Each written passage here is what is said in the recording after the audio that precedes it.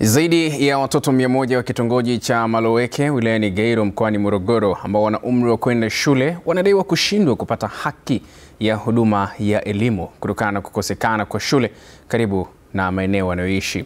Shule zinadaiwa kuwa na kwa umbali wa zaidi ya kilomita 11 kutoka Maloweke hadi vijiji vya jirani ikiwemo kijiji cha Digoboke, na kulingana na hali hiyo, kuna baadhi ya maeneo ambayo si rafiki kwa watoto kutokana na kuwepo kwa makorongo. Teresia Mwanga amefika katika kitongoji hicho cha Maloweke na hii ni taarifa yake.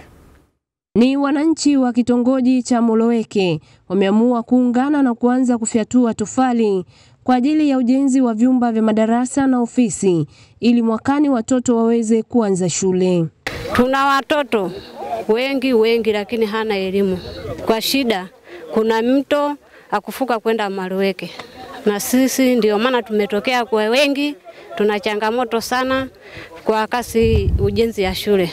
Siku nyingi sana tumeteseka, watoto wetu hawasomi kwa ajili ya umbali wa shule pamoja na makorongo. Kipindi cha mvua, makorongo maji yanaingia, watoto wanatakuwa hawaendi shule. Tumeanza jambo kubwa ambalo linahitaji nguvu zetu na fedha zetu ili liweze kufika hatua.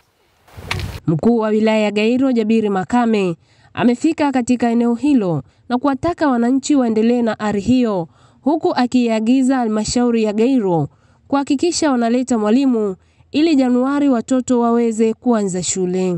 Ni wajibu wao kujipanga kwenye mipango yao ya halmashauri kuona ni namna gani sasa wanaunga mkono jitihada za wananchi, lakini pia jukumu alilokuwa nalo ni kuhakikisha kwamba wanajipanga sasa, kuhakikisha kwamba ifikapo mwezi Januari wahakikishe kwamba mwalimu anakuwepo hapa Maloweke ili watoto wetu waanze kufundishwa. Wakati wananchi wakiendelea na jitihada za kupambana kupata vyumba vya madarasa, uongozi wa kanisa la International Evangelism Dispo Church wameridhia kutoa jengo la kanisa litumike kama darasa endapo wananchi watashindwa kukamilisha ujenzi ili ifikapo Januari 2023 watoto waweze kupata elimu.